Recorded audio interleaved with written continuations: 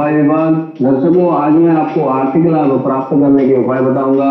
दर्शकों यदि कुछ छोटे छोटे उपाय नियमित रूप से आजमाए जाए या इसका प्रयोग किया जाए तो आर्थिक लाभ प्राप्त करने में कम परिश्रम करना पड़ता है और कम समय में ज़्यादा आर्थिक लाभ होता है।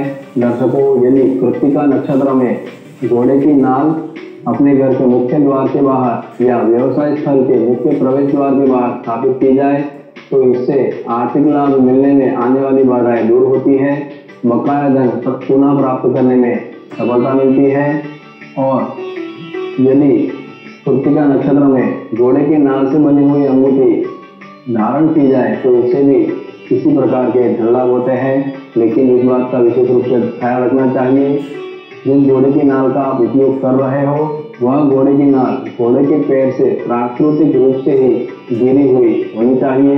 दर्शकों इसी प्रकार शुक्ल पक्ष के प्रथम सोमवार के दिन से आरंभ करके यदि नियमित रूप से पीपल के पेड़ की पूजा की जाए तो इससे भी आर्थिक लाभ प्राप्त करने में, आर्थिक रूप से प्रगति करने में बहुत कम समय लगता है।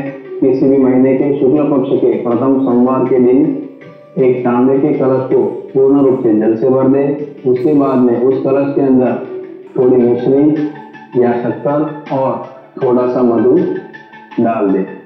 शहद और शक्कर डालने के बाद इस जल से पीपल के पेड़ को सींचे पीपल के पेड़ की एक प्रदक्षिणा करें।